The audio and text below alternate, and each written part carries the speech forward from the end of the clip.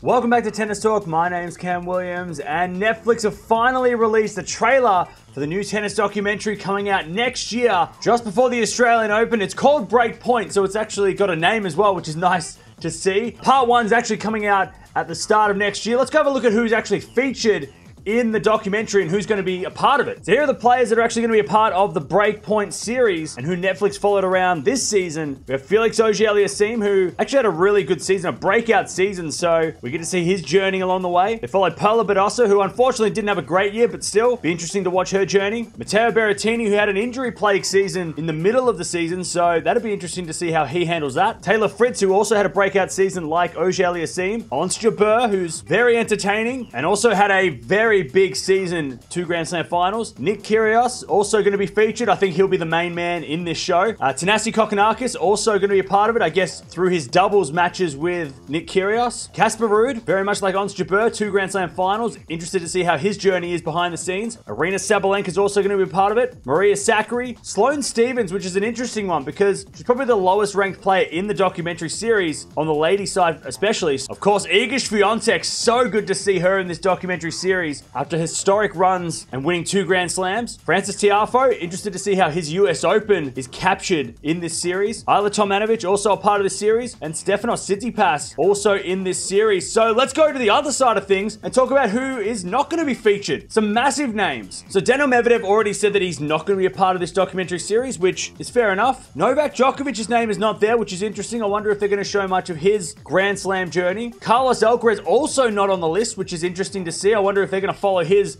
US Open victory. And Rafa Nadal, he is not a part of this either, according to reports. So all the Grand Slam champions on the men's side are not going to be a part of this. Also, Ash Barty had a great start to the year, of course, retired, but she's not apparently not part of this either. Elena Rybakina, she isn't a part of this, the Wimbledon champion. Also, Caroline Garcia, she had such a great journey, so I hope she is featured in this at some point, but from what we're hearing, she's not going to be a part of it that much. And also, Coco Gauff is not on this list, which I think is a shame because it would have been great to see her journey going through the French Open, getting to the final as an 18 year old, making the top 10, and also doing really well in doubles. So, some big names there not going to be participating in this documentary series.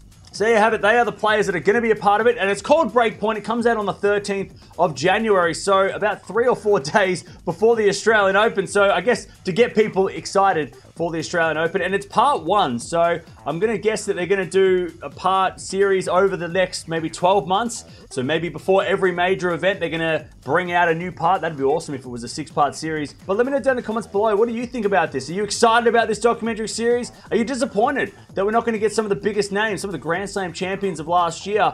Uh, I'm a little disappointed. I, I'm not surprised though because uh, the, the Formula One version of this didn't have Lewis Hamilton in season one. And at the time, Lewis Hamilton was winning everything. So I'm not surprised we don't see Rafa and Nole. Uh, but I'm a little bit surprised we don't get someone like Gauff or Alcaraz, one of the, some of the younger players, not getting involved in this or not being a part of this. Let me know down in the comments below. Are you excited about this Netflix documentary series?